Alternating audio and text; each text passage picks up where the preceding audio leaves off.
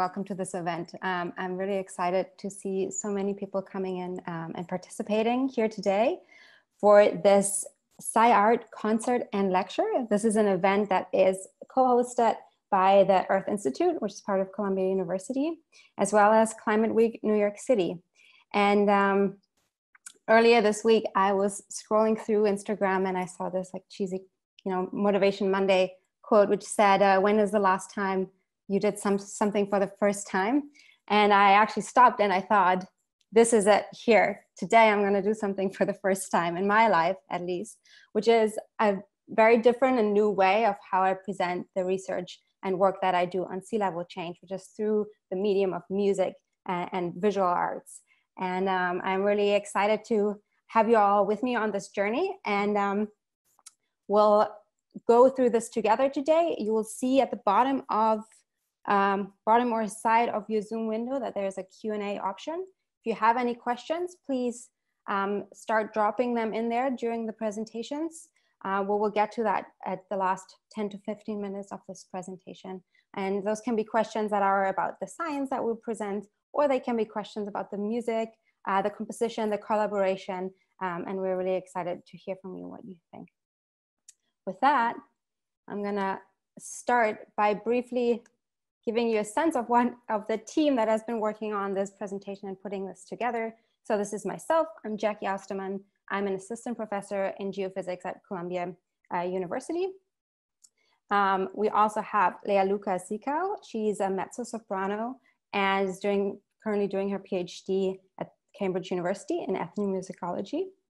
And then we have Eve O'Donnell, and she's a composer and artistic producer at National Sawdust in New York City. And you'll hear from Lea Luka and Eve in just a little bit. So this is part of New York City Climate Week. And so I assume a lot of you might be living in New York City at some time, maybe not right now, or have some, some connection to New York City, maybe. As you know, this is a buzzing and crazy city. It's also a city that's on the ocean and it's a city that's surrounded by water. And it's as such, it's a city that is dealing or is trying to deal with um, and figure out ways to deal with the rising sea level and sea level change.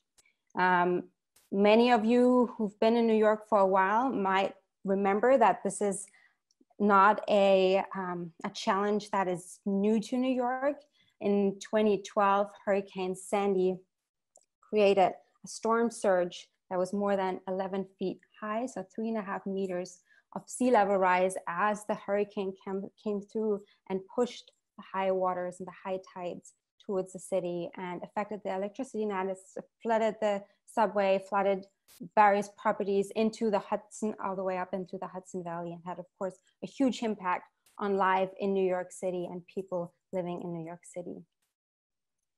Of course, these challenges associated with sea level rise, with both sort of the slow and constantly rising sea level, as well as these short-term events um, uh, associated with storms and storm surges, don't just affect New York City, obviously.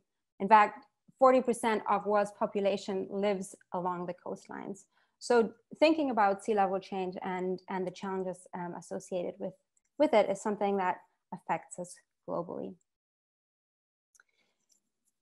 If we think about um, New York City, I want to share with you a little bit about what the projections are of how sea level might change. Because if we want to deal with that challenge, we of course need to know what, what the exact challenge is, right? How much will sea level actually rise in the, next in, in the next decades or in the next centuries? And I'm showing this here on a plot where we have um, on the on the x-axis time going from 1900 up to 2100. And on the y-axis, we have sea level change and we have feet on the left and meters on the right. So you can choose whichever metric you prefer. Um, and this is the observed sea level change that has been measured by a tide gauge in Battery Park. And projections for New York City are that sea level is gonna be rising. So it'll uh, rise up to very likely a meter. You'll see sort of here an, a sense of uncertainty of that range um, by, the, uh, by the end of the century. Um, and you'll see that the, the uncertainty bounds on here are quite large. And thus, that is a result of two things. One, it's a result of we don't know how high temperatures are going to be we don't know how high emissions how emissions are going to evolve over this time period and that's something where all of us can actually have an input on driving this up if we emit more and temperatures keep rising or keep this low if we emit less CO2 and keep temperatures at a lower level.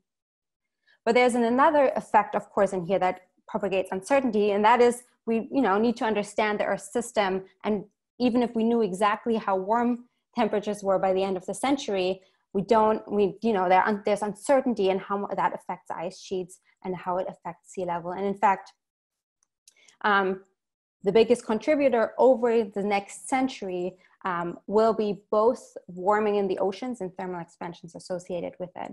But it will also be the melting of ice sheets, and the ice sheets have already just the last decade or so started um, to melt. This is the Antarctic ice sheet, and you see particularly this part, which is Western Antarctica, um, is starting to melt quite severely. There's a, there's a very active region of uh, research to understand how susceptible it is to um, the temperature warming and, um, and yeah, rising temperatures in both air and in the oceans. So with this kind of like very brief overview of why sea level change matters for most people um, because so many just live along, along the coastlines, and particularly why it matters for New York City. I want to start with three questions here, which is how can we better understand sea level change? And I will be telling you more about this in the way that I try to answer that question in my research. But then, of course, here we're also focusing on the angle of how can we communicate the science behind it. Is the best way of communicating this through lectures? How can we bring in the biggest audience and communicate it in a way that it actually sticks? Um, and we're exploring that a little bit here today. And of course, the reason we want to communicate this efficiently is that we want to inspire change and we want to inspire change that is long lasting and that lasts, you know, beyond a four to eight year political term. And, um, and that comes from not just what politicians or scientists tell you, but that actually comes from change within the community because communities will have to adjust over the next centuries, one way or the other, um, to this challenge.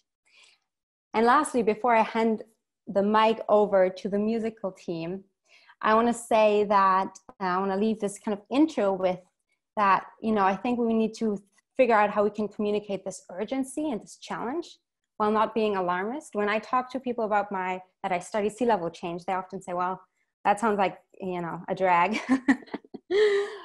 but actually it's a, it's a studying the earth, studying coastlines is a beautiful thing. And I hope I'll show you that through my work later on and you'll hopefully get sense of this beauty also through the music and the visual arts.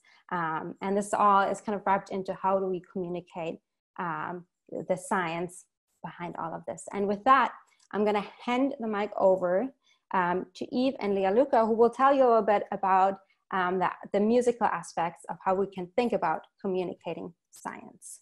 And i will stop my screen share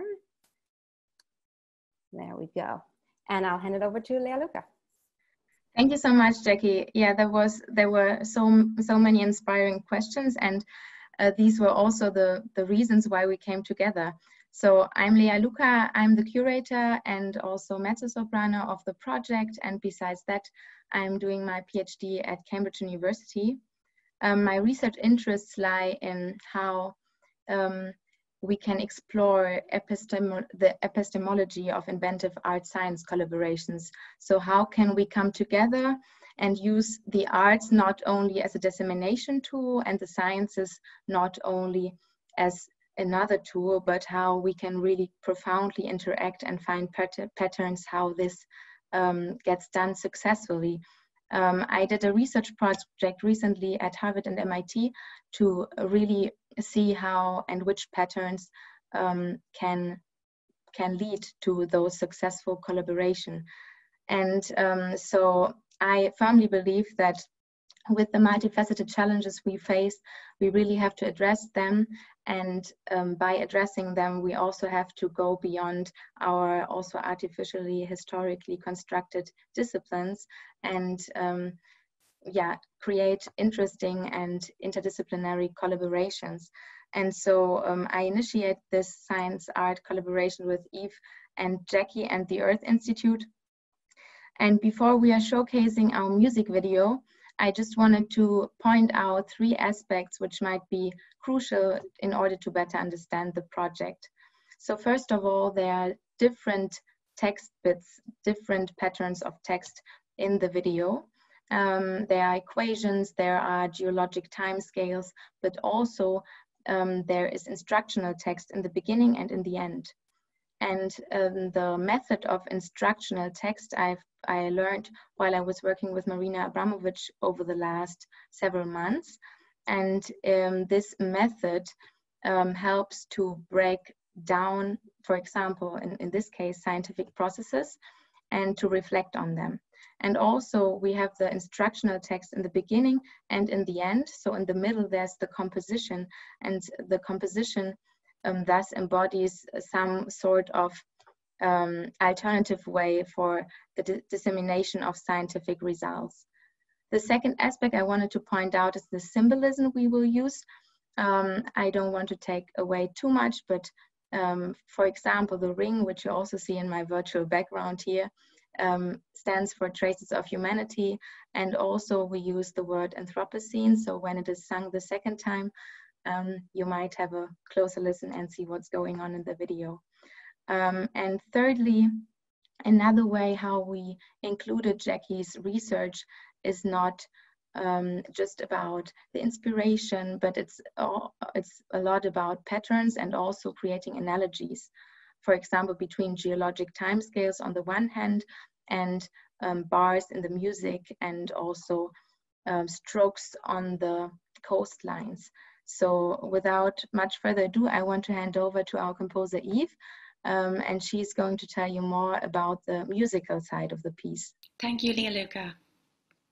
So for those of you um, who don't know me, um, my name is Eve O'Donnell, and I'm the composer on the project. Um, I'm also a vocalist and a curator, and I work as the artistic producer of the Composer Mentorship Initiatives at National Sawdust, which is a music venue in Brooklyn. So each of these roles in my life helped to build momentum in my artistry. Um, and I see the importance of valuing ourselves as multifaceted individuals as it's key to building a sustainable career. Um, my instrument is the voice and the piano, and working as a composer specifically for uh, the voice and choir is the inspiration for my craft. Um, as a composer, I like to explore where the issues of climate change and music meet, and how this has the potential to impact the public consciousness for change. So through this SciArt collaboration, we've taken the data from Jacky's work and implemented it into the music. So looking at the work from a compositional lens, um, there's a deep duality within the music. The counterpoint between the voice and the guitar is composed in a way that it allows them to respond to each other's movements. Um, and similar to that of the shape of the ocean's surface and the seabed that it lies upon. So harmonically, to create this, um, I wanted to use the uh, use of uh, parallel sixths, which represent the, uh, the gravitational equipotential surfaces that circle the Earth. An addition to this as well was that I interspersed ninths throughout the music um, with the intention of representing the nominal average strength of Earth's gravity, which is 9.80665, I believe. um, so, while exploring Jacky's research on a more in-depth level, um, which, you know, it spans across ice age sea level, long-term sea level, plate tectonics and geody geodynamics, there's so much there, um, I was moved by her work on local sea level change and the idea that um, of glacial rebound. So what that means, if I'll try and explain, um, is that after a land glacier melts, the land it was once impressed upon is still moving and rebounding slowly and long after the meltwater is gone. So I wanted to capture this movement in the music as it resonates with me. Um, and with that, also kind of what it means to be human, um, because we're impacted by the nature that we encounter, you know, both while it's with us, but also when it's gone. And we feel lasting impact of the, the decisions we make that affect the relationship with our environment. So on that note, um, I will now share my screen with you um, and I'll introduce the musicians. And as you already heard, our mezzo-soprano is our very own Lea Luka Sikau and the classical guitarist is Damien Kelly. Um, so this is our pilot project, um, which let me just share the screen with you now. This is our pilot project, which is uh, essentially it's like initiates the start of an innovative dissemination events and encounters. And we hope to have um, a web res we're, we're working towards web residency with the German consulate later this year. So we hope that you enjoy it.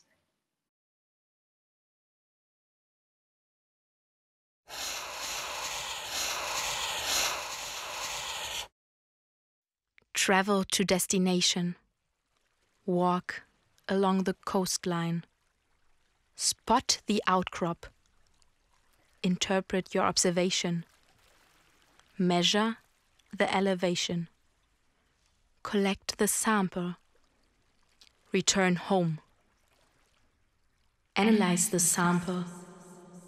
Calculate sea level change. Uniform perturbation of the gravitational equipotential surface is identical to minus 1 over a times rho i divided by rho w times the integral of delta i over the surface of the earth plus the integral of SL times the ocean function over the surface of the earth. Uniform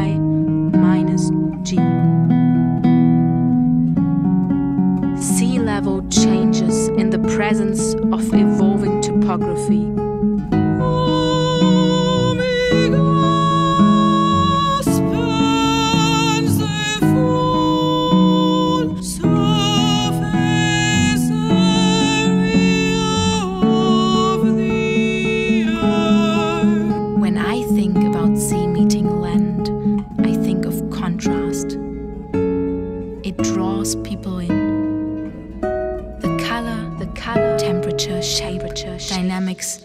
Where sea meets land is a constantly shift, shifting bound.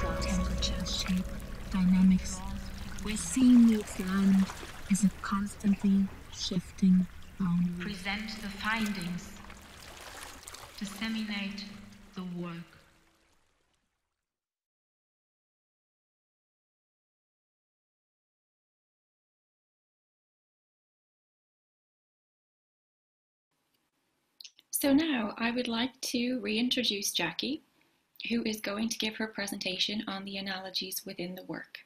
So please welcome you back, Jacky. Thank you, Eve. I'm going to go and share my screen again. Okay.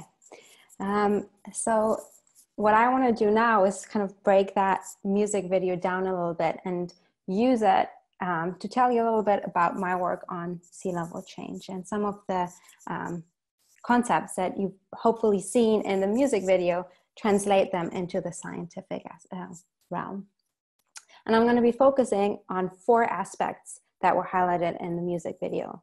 I'm going to start by talking about geologic time and how um, we need to understand kind of Earth's behavior over long time scales in order to understand what's going to happen, how sea level is going to change in the future.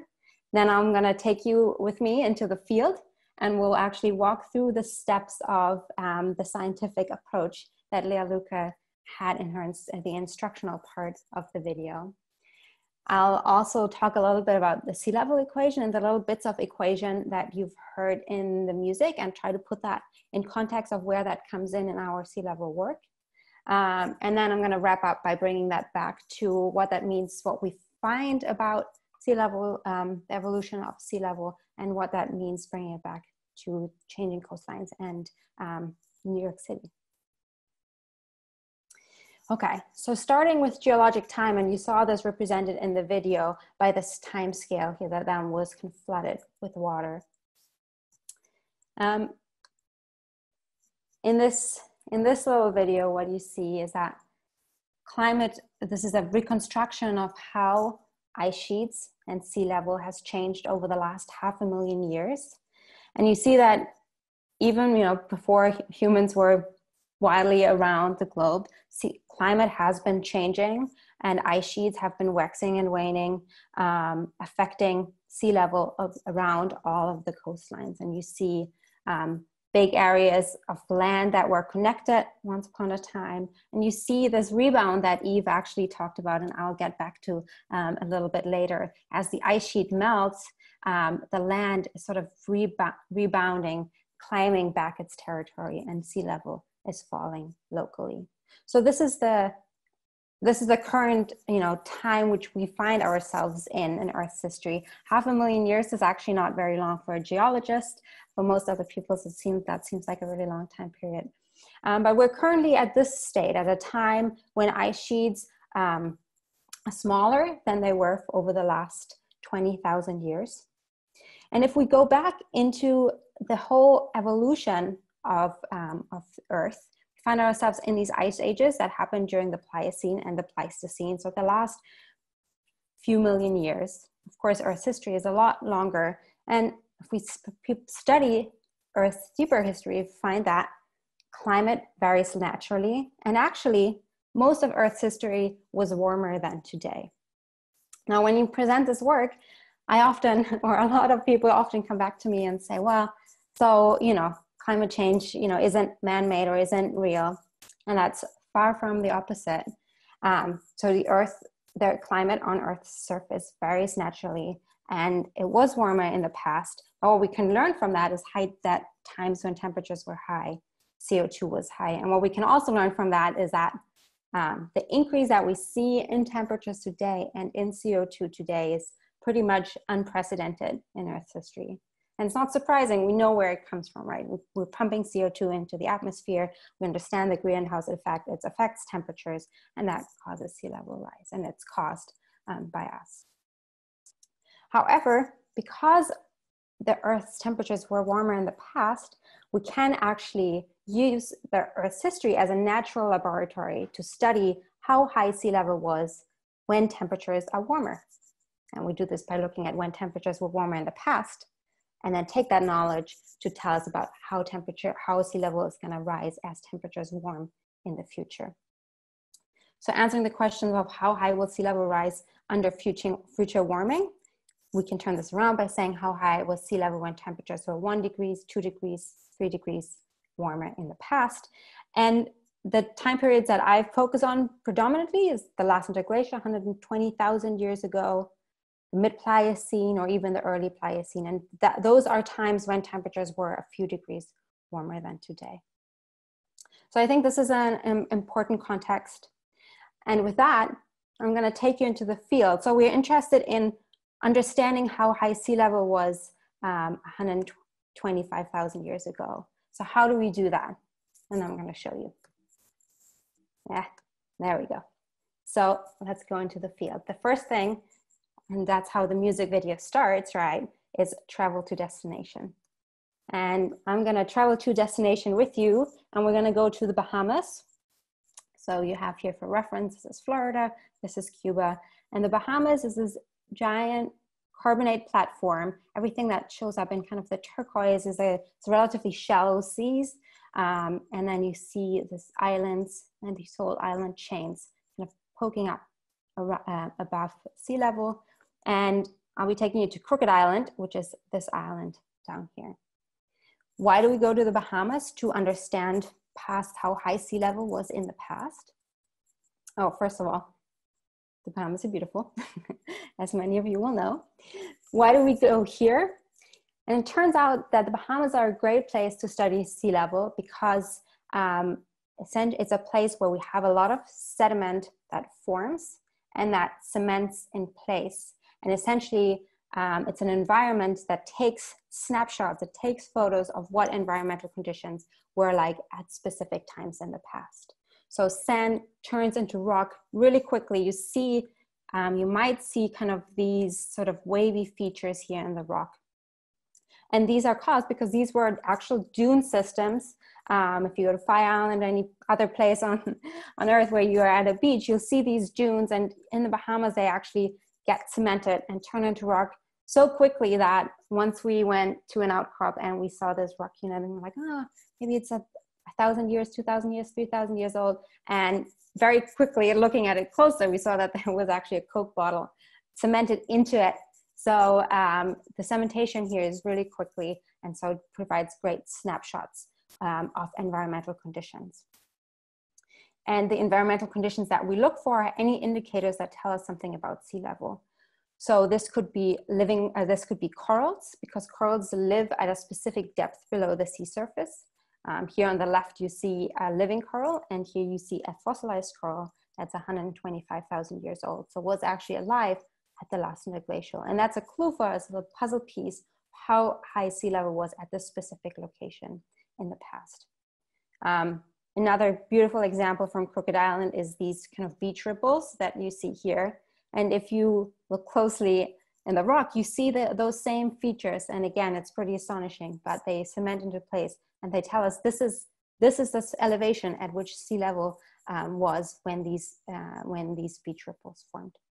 So that's why the Bahamas is a great spot. So we travel to destination. Next, we walk along the coastline.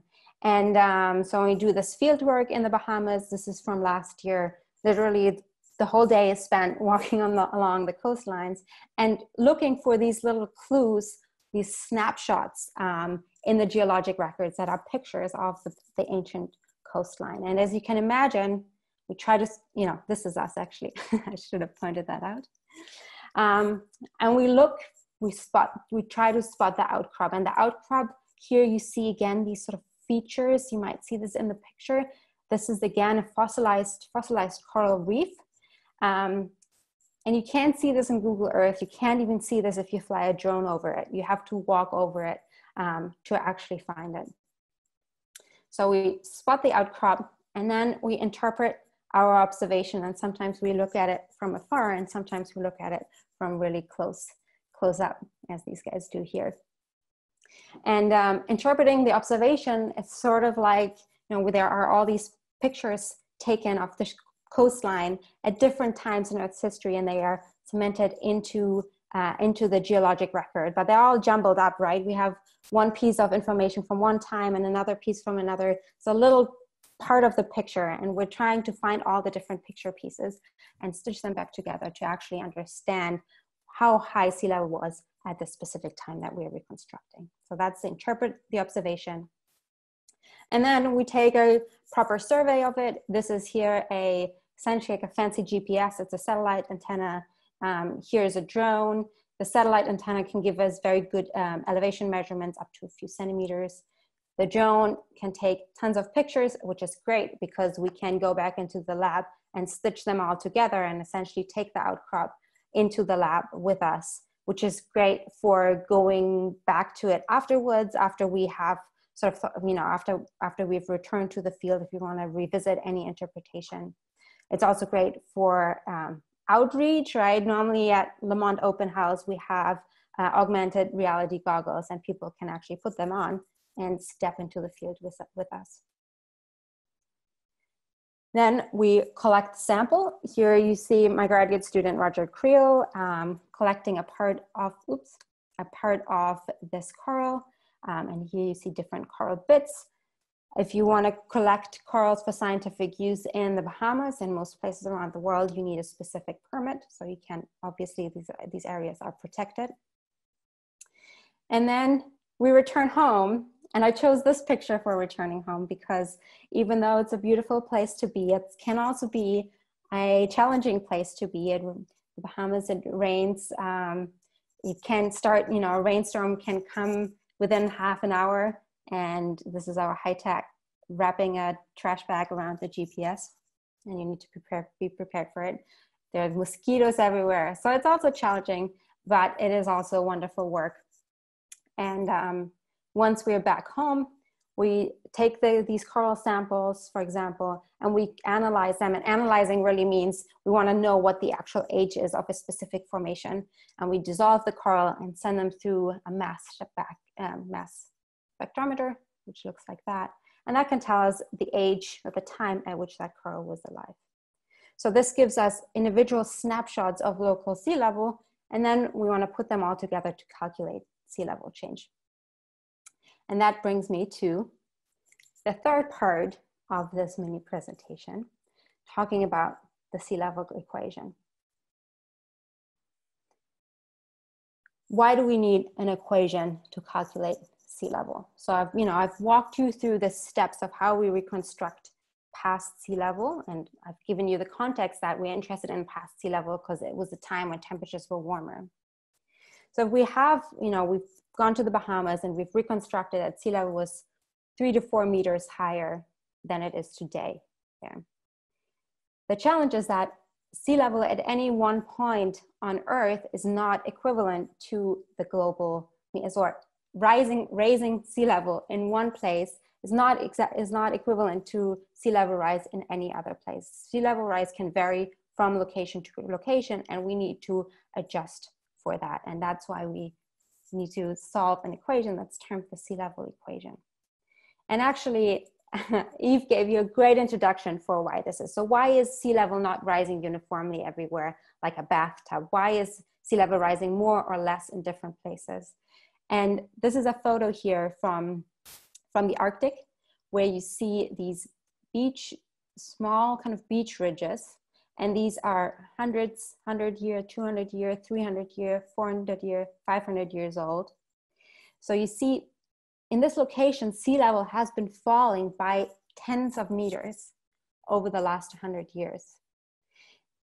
But it's actually not sea level globally falling, it's the land that's rising out of the ocean that causes this local sea level fall. So everything is relative.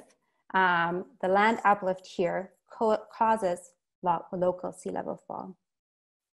And you see this really nicely depicted throughout the music video because it comes back to not just the sea level changes, but the land and sea level changes. The land component is a really important one, particularly if you live in the US. And I'll tell you why in a second. Again, Eve went through this, so I can go quick, quicker now, which is great. So the idea is that ice sheets are heavy, they depress the material underneath it, um, which causes subsidence of the solid earth, and it causes uplift at the periphery of this former ice sheet. During an, um, the deglaciation as the ice sheet melts, and if you think back of that video, you might remember that currently we are in a time when the Laurentide, Laurentide ice sheet, of course, big ice sheet over Canada, does not exist anymore. We have uplift in the areas that were formerly glaciated, um, and we have subsidence at these areas of the periphery of the ice sheet, which are termed the peripheral bulge. So this is what the ice looked like at the last glacial maximum. And all of these areas were depressed during that time. But along, kind of away from this ice sheet are areas that were on uh, that are on the peripheral bulge. And being on the peripheral bulge, that means today the these areas are subsiding, the land's going down. And we see this all along the US East Coast. so this is relative sea level over the 20th century um, along the US East Coast. You see it varies from place to place. It's two millimeters per year here. It's four millimeters per year here.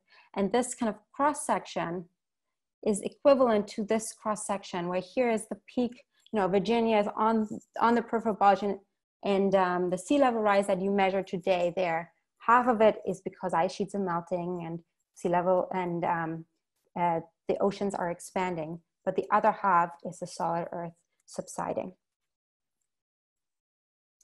So I want to take you through a couple of the, um, so, you know, we need to account for this both when we measure and understand present day sea level, but we also need to account for that when we reconstruct sea level in the Bahamas.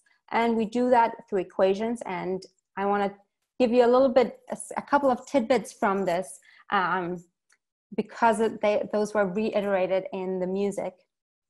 So Lea Luka was telling you in the music that sea level is the difference between G, which is the gravitational equipotential, so the bounding surface of sea level at the top, minus R, which is the Earth's bedrock elevation, which is this here, okay? And if we have sediments, if we have ice, they add to the topography. But generally, sea level is the difference between, you know, the bounding surface at the top and the bottom, pretty obvious. But that also means that sea level can change because of either. It can change because the gravitational potential field changes or because the solid um, surface changes. And that ends up being just the opposite, that definition, just the opposite of topography if we want to uh, calculate how sea level is changing in response to an ice load and in, uh, you know in response to the ice mass and the change in ocean mass over time and change in sediment mass over time we need to first quantify where where do we actually have changing ocean. And that's done through it's called the ocean function. And you might again remember that that was um, mentioned in the music the ocean function is a function that's one everywhere where sea level is above zero. So in this area, and it is zero here. And we have, when we calculate the ocean load, so how much the ocean weighs down on the surface of the earth, we multiply sea level by this ocean function. And lastly, this is the last equation here. We have our, our surface load is then composed of these different masses, the ice mass, the sediment mass, um, and the ocean mass. And if we calculate it low, we need to multiply that which, with the respective densities. Again, something that you might remember think back from the music videos.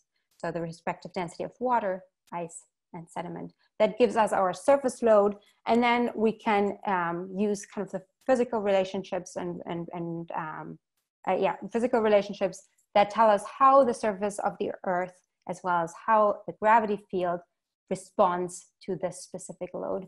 And we can use that to make predictions of present day sea level change or sea level change in the past, say during the last interglacial.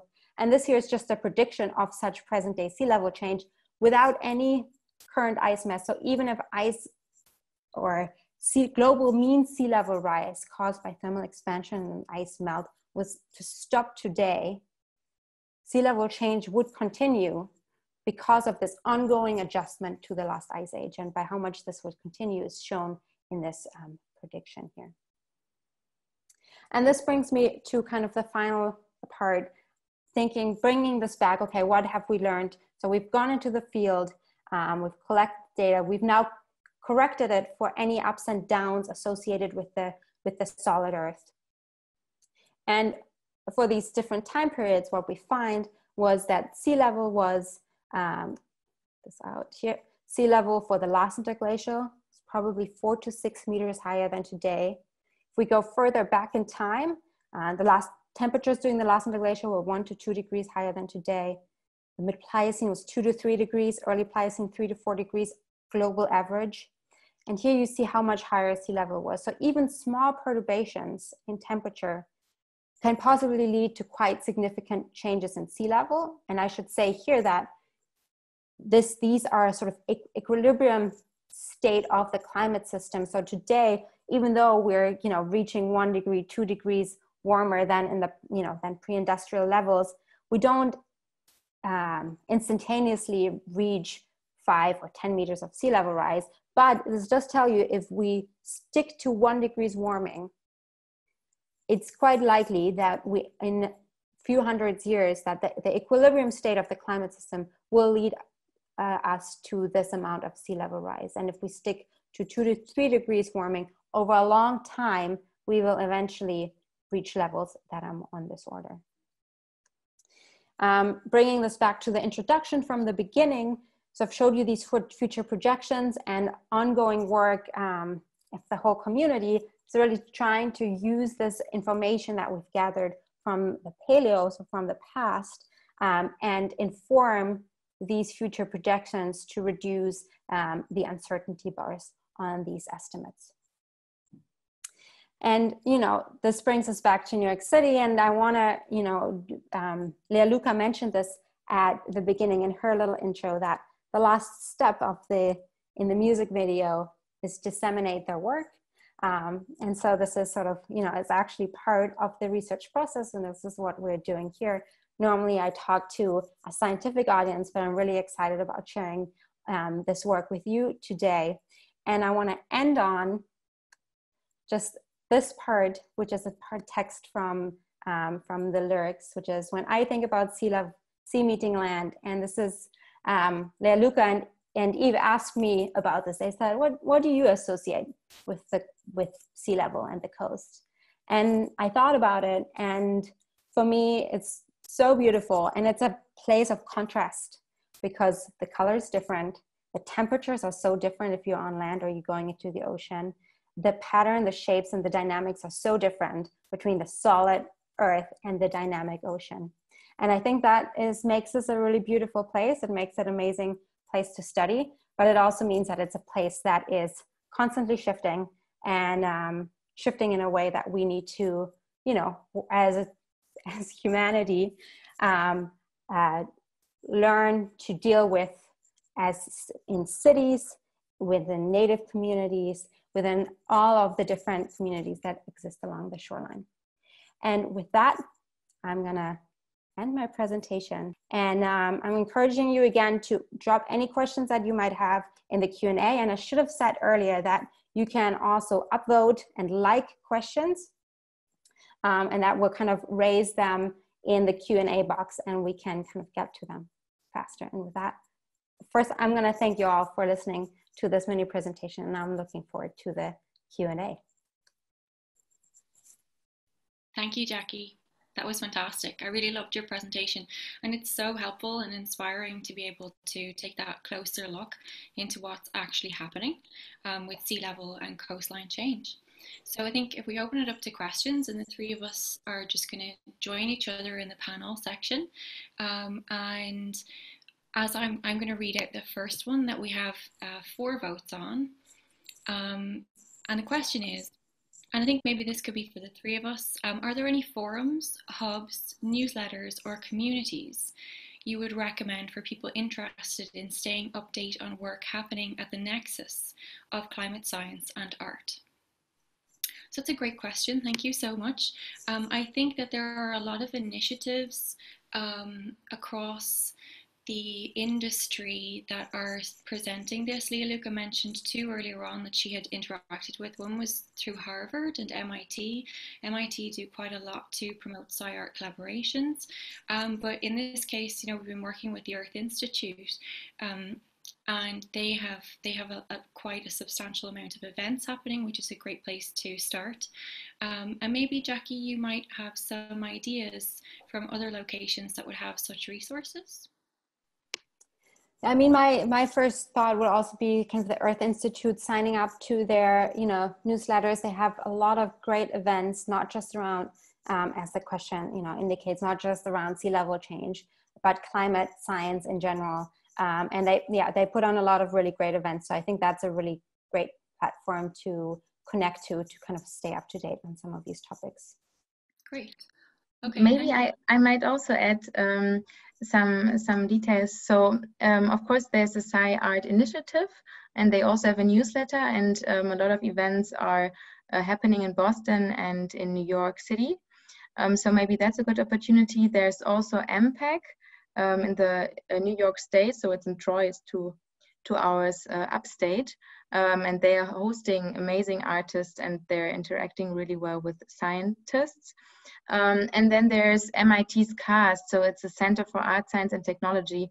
Um, you should also get a, um, um, a possibility to join the newsletter there. And maybe from those who watch it from Germany, or somewhere else. Also, the ZKM in Karlsruhe is a really great place. It's a center for media art, um, and they do innovative collaborations. So, but, but these are more these collaboration endeavors are more generally related to arts and science. But you might find something related to climate change there. Um, however, we are also planning on developing it this project further, and we really hope that people who are seeing that and also want to collaborate with us, uh, contact us through social media, for example, uh, because we would like to also host web artist residencies for those types of specific projects. Great, thank you so much. I was just going to say, I'm happy to jump on the next question, if I may. And I'm going to take the, the science, the earth science question, which is by Vivian Gornitz, and which is, how would you date the thick sand dune cliff the sand ripples that I set was um, 125,000 years old. Um, and the reason I'm very happy to jump on this is because we're developing um, now a new, potentially new method to, I mean, a method that's been used but not super widely to date exactly those features. And essentially, what you're dating, so the corals are easy to date because they, well, I say easy, They're, it's it's very hard to actually get good ages, but it's possible to date because they were alive and as they die, their organism changes and we can track that point at which that happens. For the sedimentary features, we can potentially date kind of at what time period that sand grain, that little carbonate grain was produced.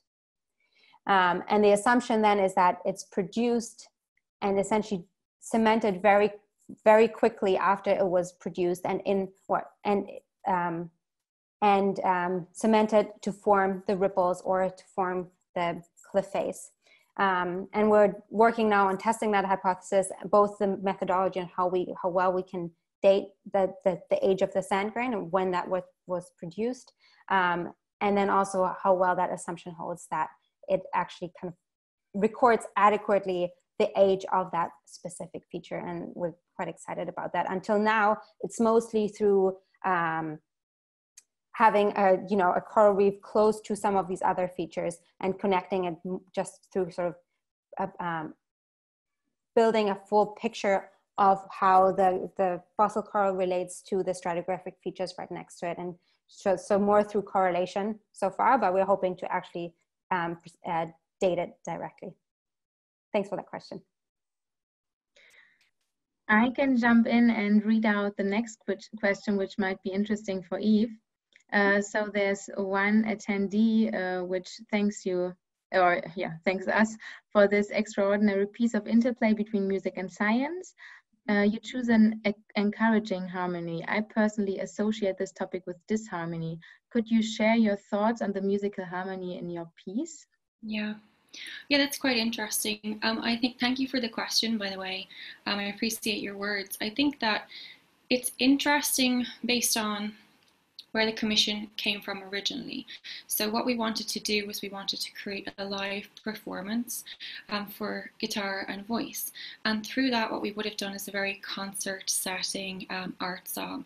So originally, the kind of the brief that was given to me from the parameters of the work were to create something that would work in um, in that live concert setting specific to a kind of a tonal harmony um, requirement let's say.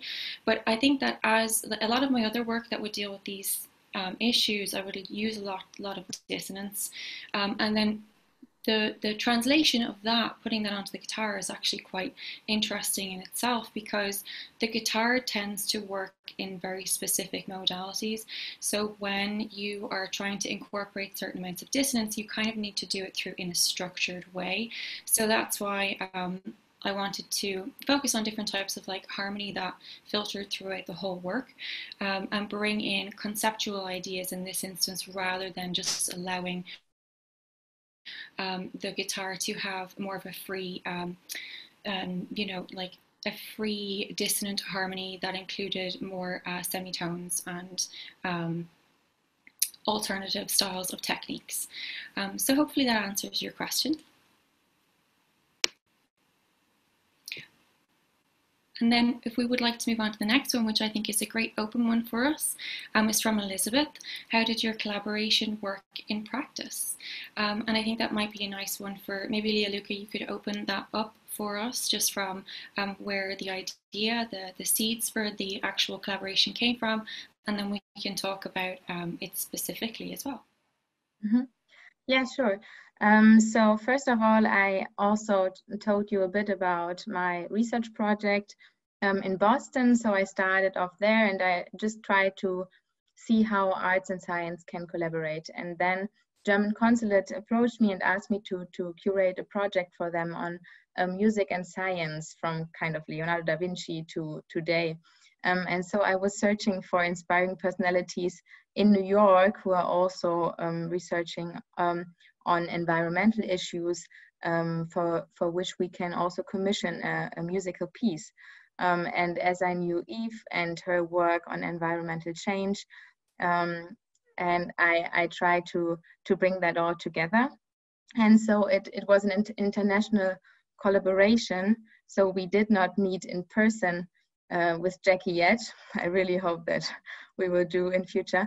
So we, we did a lot through Zoom and um, we gathered inspiration. We had looks into several papers of her and the equations used and um, Jacky also um, spoke about how she how we asked her to to also give her thoughts on what happens when sea meets land and what happens um, when you actually go there and can you break up the process into pieces and bits so it worked like that it was like a reiterative process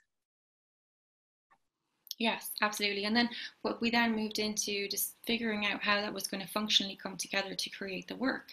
So um, Lea Luka and I spent a lot of time uh, creating the storyboard, which um, I worked on from the musical side, but she worked on from the video uh, to develop the video along with a, a videographer.